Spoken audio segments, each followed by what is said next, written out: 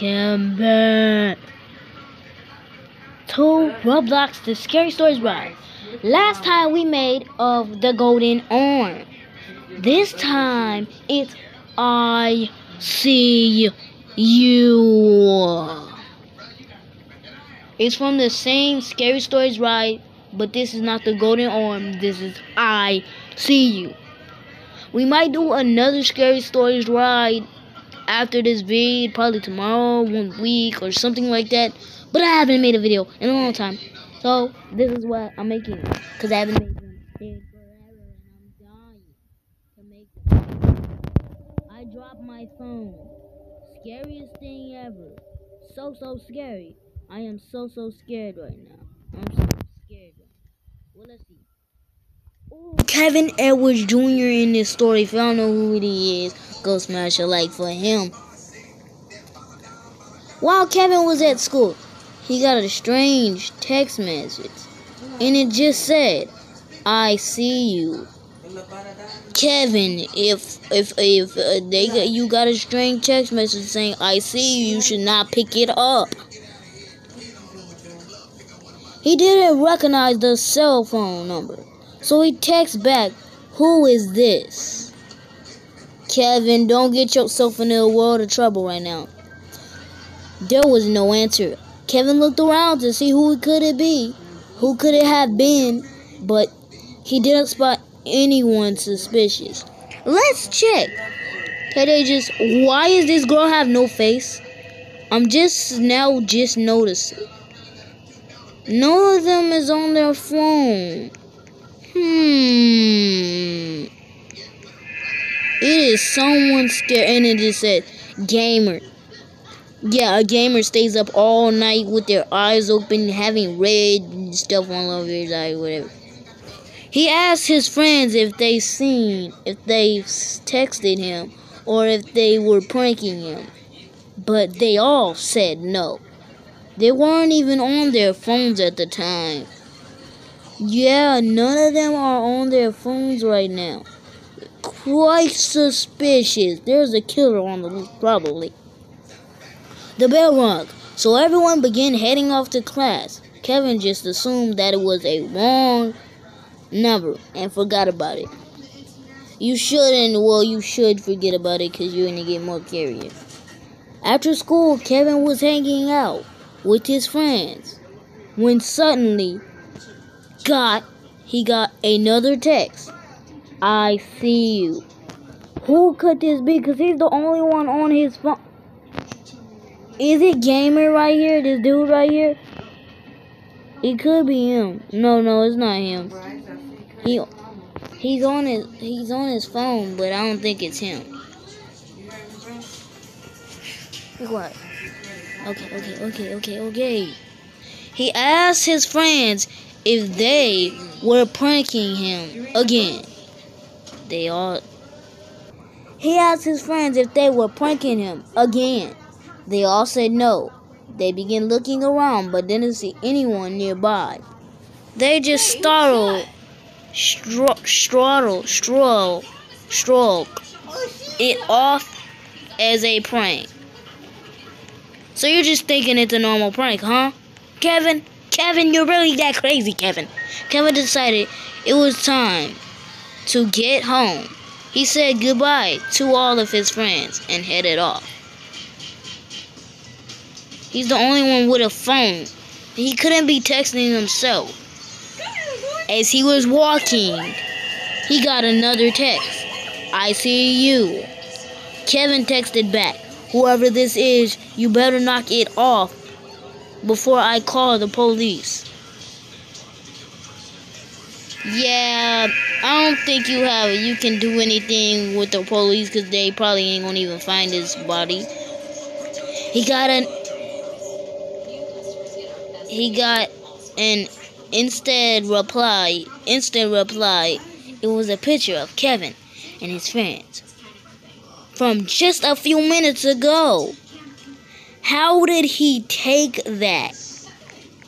He must have been in the school when Kevin was looking.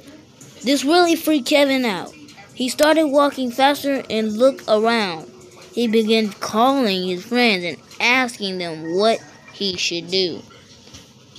Don't knock it off as a prank, cause pranks on yeah, it might just. Oh yeah, it's also Halloween. Yeah, this was about to say right here. I think his friends reminded him that it was almost Halloween and that a lot of people were pranking each other. So he should just ignore it and calm down. Uh, yeah, I know it's Halloween and all, but you shouldn't just. She coming. She coming. Your your friends are your friends are just out of line at this point. Kevin totally trusted his friends and realized they were probably right. This calmed him down a lot, so he decided to enjoy the rest of his walk home. Don't enjoy your rest of your walk home, because you might just die. Kevin arrived home just as night had arrived. He went right inside what could happen next, guys? Comment down below. Let me get out of freaking first person, guys. Welcome back.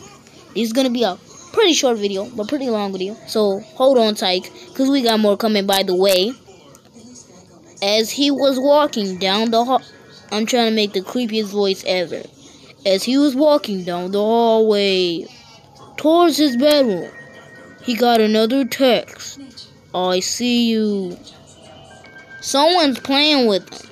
Some clown, some thing, some some uh, demon or something is playing with him. He was getting aggravated now and was about to text back when when what happened? When what happened? Uh, you probably should. He got another text. It was a picture of the street Kevin lived on. Kevin started to realize that this wasn't just some Halloween prank. Bruh, shut. Bruh, it's a Halloween prank. This ain't no Halloween prank, bitch. I'ma serve you. You think it's a Halloween prank, Kevin? You really think it's a Halloween prank? Now he realizes it's not a Halloween prank. His friends are lying to him. His friends are trying to not tell him anything or trying to get him to get scared or anything, so he tried to calm him down. He sat down at his computer to quickly Skype his friends, but no one was online yet. Just then, he got two more text messages, one right after the other. What was those text messages, Kev? The first text just said, I see you. The second text was a picture of his house from his neighbor's yard across the street. This is freaking me out now, Kevin. Kevin, you should stop. He for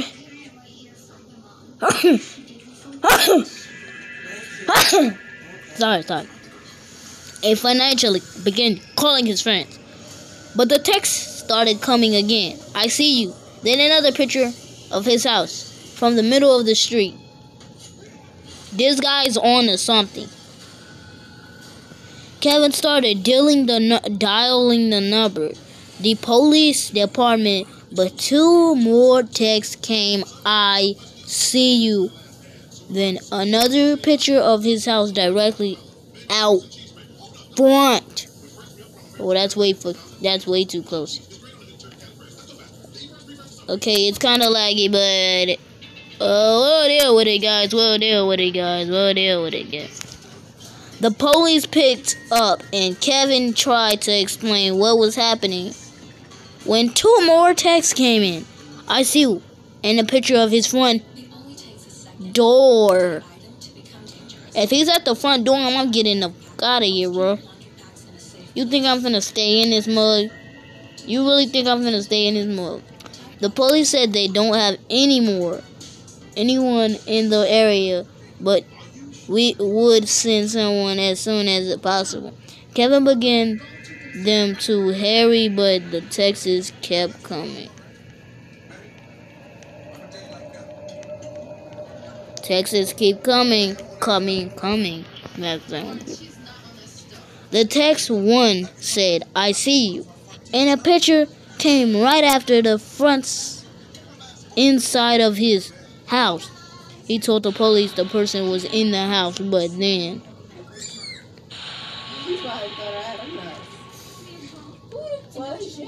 Kevin got one more text.